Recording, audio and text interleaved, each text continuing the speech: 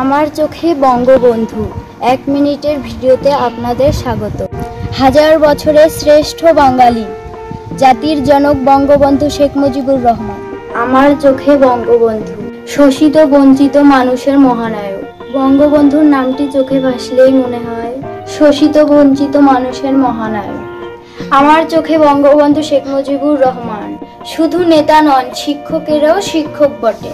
আমরা জাতির জনক বঙ্গবন্ধু শেখ মুজিবুর রহমানকে ভালোবাসি, বাংলাদেশকেও ভালোবাসি। তিনি আমাদের মনের মাঝে সব সময় আছেন এবং থাকবেন।